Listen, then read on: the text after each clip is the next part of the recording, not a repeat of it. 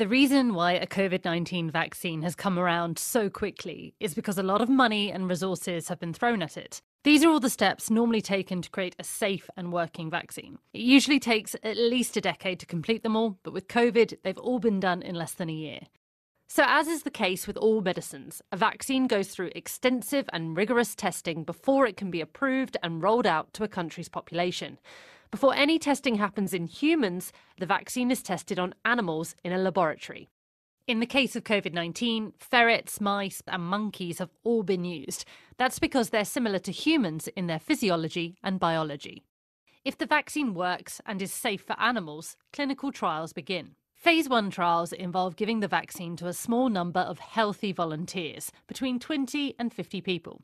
Here they're looking at safety to check it generates an immune response and to determine the correct dosage.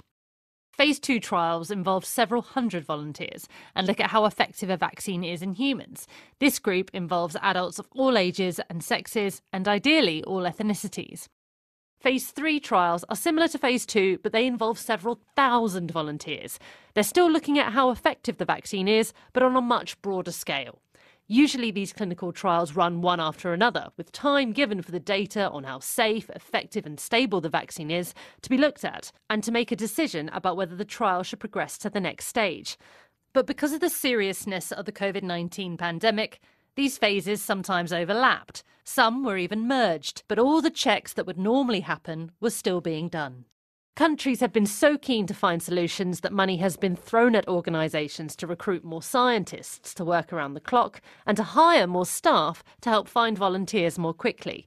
And because COVID 19 has been so widespread, finding volunteers to test the vaccine on has been easier than in other trials. When enough data has been gathered, it's submitted to a country's regulators for approval. Scientific and clinical experts review it to see how effective the vaccine is, how safe it is, how stable it is, its quality, and check that it's being manufactured and stored in a way that meets safety standards and public health policy.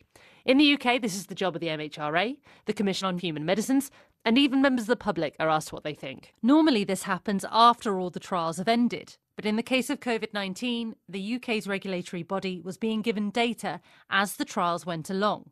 This is called a rolling review. If a vaccine is then approved, it can be given to a wider population, but the regulators keep monitoring health records and data on anyone who gets one, the same as for any vaccine or medicine. And every batch of the vaccine that is made is checked for purity and quality before it's sent anywhere.